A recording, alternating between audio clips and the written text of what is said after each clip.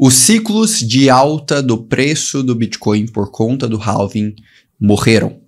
Eles não funcionam mais. Eu sei que essa afirmação pode te assustar, porque você já deve ter escutado de alguma pessoa ao longo da sua jornada no mercado cripto que de 4 em 4 anos, inevitavelmente, o Bitcoin irá subir para um evento conhecido como halving, aquele evento que a gente tem um corte de metade das recompensas do Bitcoin e por consequência isso gera uma, uma, um choque em relação à oferta dele e faz com que o preço do Bitcoin tenha multiplicações exponenciais. Mas sinceramente, na minha visão, isso não faz sentido. Por isso, no vídeo de hoje, eu tenho um objetivo muito, muito simples para você. Eu quero te explicar em detalhes se esse ciclo faz, não faz sentido, quais são as próximas perspectivas em relação a isso e quebrar um dos maiores mitos que existe dentro do mercado de cripto. Por isso, preste muita atenção nesse conteúdo. Eu sei que esse momento do mercado deve ser um momento muito tenso para você e que inclusive está gerando memes como esse. Apesar do Bitcoin estar tá se recuperando nesse exato momento, atingindo aí a faixa dos 60 mil dólares, muitas pessoas nas últimas semanas estão sentindo muito impacto da performance negativa do mercado cripto nos últimos seis meses. Isso abre um questionamento muito natural em grande parte dos investidores. Será que o ciclo do halving realmente funciona? Olhando um pouco para essa ótica, é importante a gente entender então qual que seria essa dinâmica. Se você observar nessa tabela, você pode perceber um comportamento bem parecido em todos os períodos do halving, que após ele a gente tem momentos de multiplicação exponencial. No primeiro halving, a gente teve uma multiplicação bem mais significativa, de modo que nos últimos 125 dias Após o halving, a multiplicação do Bitcoin chegou a ser de mais de 8 vezes. Já no segundo, apesar de a gente ter um início um pouco negativo, nos 125 dias seguintes, a gente tinha uma multiplicação de mais de 10% no valor do Bitcoin. O terceiro, se a gente fazer essa mesma análise, a gente chega a uma multiplicação de 22% de performance. Entretanto, se a gente observa para o momento atual de agora, a gente está tendo a pior performance pós-halving do Bitcoin nos últimos 125 dias, atingindo a incrível marca de menos 8%. E aí, a gente tem que começar a entender primeiro se realmente faz sentido acreditar que o halving vai ser o grande fator que vai fazer a alta do preço do mercado de criptoativos. Para isso, a gente precisa entender os motivos que levam a maioria das pessoas a acreditarem nessa narrativa, que são dois principais. Primeiro é o corte de oferta que isso gera no Bitcoin. E essa tese é bem simples. Se eu vou reduzir a recompensa do Bitcoin, por consequência, se essa recompensa fosse revertida em pressão de venda dos mineradores, eu vou estar reduzindo pressão de venda. Isso vai fazer com que o preço dos ativos aumentem por uma redução da sua oferta. Já o segundo aspecto é um aspecto mais psicológico, que essa tese sempre aconteceu nos últimos anos desde a criação do Bitcoin e por consequência isso constrói uma mítica por trás desse evento e que tem o um efeito psicológico de aumentar o interesse dos investidores em relação ao tema. Então a gente precisa analisar esses dois fatores de forma muito clara para definir se de fato os ciclos por conta do halving do Bitcoin fazem sentido ou não. Se você observar esse gráfico, a gente começa a compreender de forma muito mais evidente isso. De fato, o primeiro halving em 2016 tirou ali uma oferta significativa de bitcoins do mercado. Mas se a gente observa para 2017, o halving de 2020 retirou apenas 1% da pressão de venda do volume total que existia no mercado.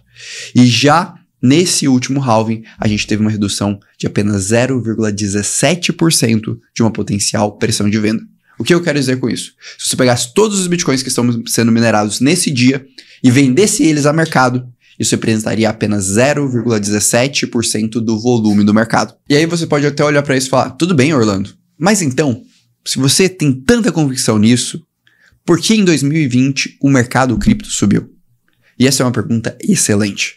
E aí a gente pode analisar um outro fator que não tem a ver com o halving, mas que aconteceu no exato mesmo momento que você pode ter a evidência nesse gráfico aqui. No mesmo momento do halving no ciclo passado, a gente teve uma das maiores expansões monetárias da história da humanidade. Um choque significativo na quantidade de dinheiro disponível no mundo, ou seja, no M2, e que meses depois teve um choque positivo no preço do Bitcoin. E aí a gente pode ter uma grande inferência. O ciclo de 2020 não foi causado pelo halving, mas foi causado majoritariamente pela melhora do cenário macroeconômico. E ao ter esse insight, a gente consegue ter uma visão muito melhor sobre o que vai fazer o preço do Bitcoin se valorizar daqui para frente. Mas antes de eu te explicar isso, eu preciso fazer um convite para você. Se você gosta de conteúdos profundos sobre o mercado cripto, não esqueça de se inscrever aqui no canal e deixar o like nesse vídeo para a gente continuar te entregando conteúdo de qualidade. Além disso, eu escrevo todos os dias uma análise para você te explicando os eventos mais importantes do mercado cripto e também compartilho um áudio analisando esses momentos nos meus grupos exclusivos de WhatsApp. Se você quiser ter acesso, basta ir no link da descrição e se inscrever lá. Vou deixar o link aqui fixado para você poder ficar à frente da média do mercado. Mas vamos voltar. Talvez, então, isso daqui dá um sinal muito claro. Se a gente não tem choques de oferta tão significativos assim, comparado ao que a gente já tem de Bitcoin circulante no mercado, o que é o grande fator que impacta o preço do Bitcoin são eventuais choques de demanda. Essas demandas elas podem ser tanto especulativas, do ponto de vista de que algum evento que vai impactar positivamente ou até mesmo uma mudança do cenário macroeconômico, quanto mudanças de demanda do ponto de vista de aumento de adoção. E aqui talvez dê um grande insight porque o momento do halving não está funcionando tão bem no ano de 2024. Se vocês observarem esse gráfico, vocês vão perceber que o ETF spot de Bitcoin teve uma componente de efeito preço muito maior no Bitcoin do que o halving. Em outras palavras, o fato da gente especular a adoção institucional e de fato facilitar essa adoção institucional foi um catalisador muito maior para o preço do Bitcoin. Até porque também naquele momento a gente estava num momento de visão em relação ao cenário macroeconômico muito mais otimizado. Então percebam como o halving não falhou. Na verdade, ele não tem esse efeito tão grande. E, sinceramente, você não deveria concentrar suas apostas no mercado cripto apenas olhando o ciclo do halving, mas sim os fatores que geram demanda. Nesse caso aqui do ETF, foi uma demanda especulativa. E para isso, para a gente pensar agora daqui para frente o que vai ser os fatores que vão ajudar positivamente o mercado de cripto a se valorizar, a gente precisa olhar essas duas óticas. Olhando para a ótica da adoção, a gente vê uma revolução significativa no Bitcoin.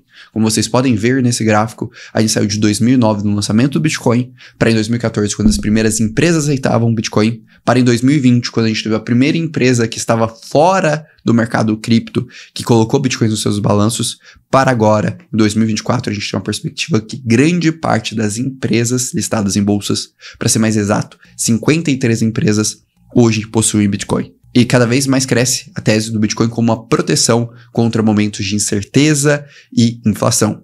Inclusive, algo que é defendido por um dos potenciais presidentes dos Estados Unidos no ano que vem, o Donald Trump, em seu discurso. Então a gente fica observando que existe sim um catalisador muito grande de adoção real para o Bitcoin, especialmente no caso da vitória do Donald Trump nesta eleição. E eu já vou cravar isso para vocês. Se a gente tiver essa vitória, muito possivelmente você vai observar um ciclo de alta causado por esse catalisador.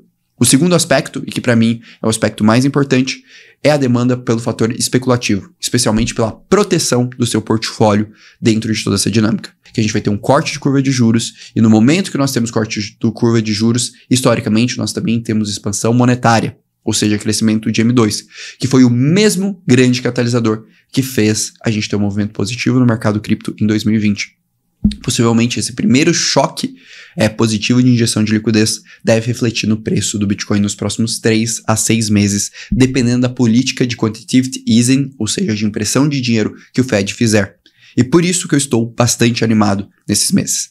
Apesar de não acreditar nos ciclos do halving e querer deixar nesse vídeo muito claro todas as evidências que vão contrárias a ele, e sinceramente, em 2028 a gente tem um halving não necessariamente significará que o mercado de cripto irá subir, eu vejo os ciclos de aumento de demanda pelo Bitcoin. E a gente tem duas evidências muito grandes de dois grandes catalisadores, tanto para uma dinâmica de demanda real do Bitcoin como ativo, como, como proteção contra incerteza e inflação, como também de demanda especulativa, dado a possível expansão monetária que nós enfrentaremos nos próximos meses para evitar uma recessão nos Estados Unidos. Então, espero que eu tenha então eu espero que você tenha gostado dessa análise, tenha deixado mais clara para você toda essa dinâmica de mercado e deixe aqui nos comentários. Você concorda ou discorda dessa visão em relação ao halve? Quero saber a opinião de vocês. Não se esqueça de deixar o like, se inscrever aqui no canal e, como sempre, também clicar no link para estar inscrito no Crypto Today e receber minhas análises diárias gratuitas tanto por e-mail quanto no seu WhatsApp para você ficar à frente do mercado. Um grande abraço e até logo.